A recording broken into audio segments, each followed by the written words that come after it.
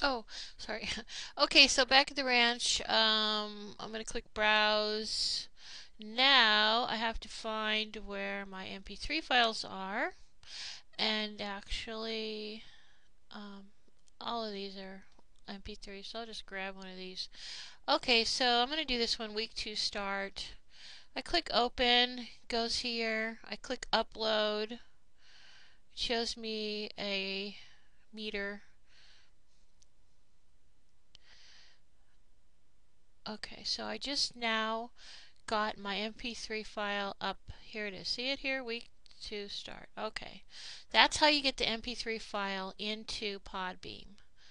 Alright, everybody clear on that? I went to upload. That's all I did.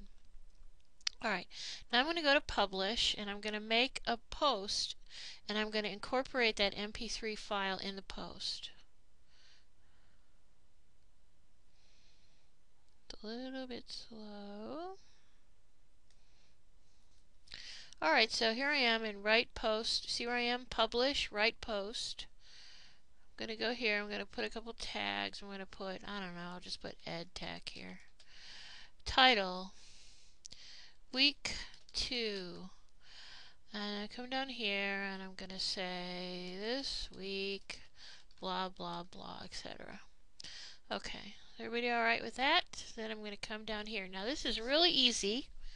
All I have to do is right here where it says no file selected, click on the drop down arrow and I'm going to pick week 2 start and I don't have to do anything else just come down here and I'm going to save it and once you save it you have to also publish it okay so it won't get anywhere if you don't publish it so Okay, so I saved it, but I did not publish it, so you see it appears here as a draft. This can be kind of confusing because if you save it, it just kind of goes away. So I'm going to have to click here on week two.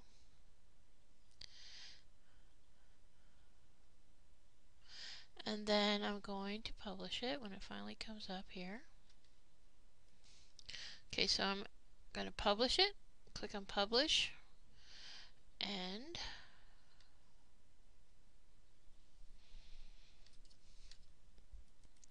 So once you've saved and published your post, you'll get this message, post saved, view site. So I'm going to click on view site and it takes me to the site. So here it is, the name, what I wrote, hopefully you write something better than that, and this very simple player, MP3 player, okay?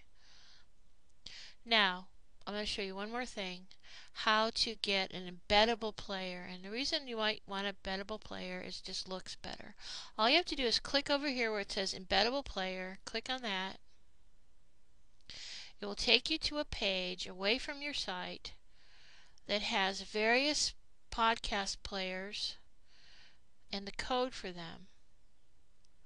So look at the different ones and all you gotta do is this one looks like this and this one looks like this. All you have to do I'm just gonna grab this code here. So I just clicked then I'm gonna copy it. Alright so I'm gonna close this down. Now I have to go back into my podcast in order to add this embeddable player. Oops sorry. So what I do is I use the back arrow. Just use the back arrow and I'm running out of time again. See you in the next podcast.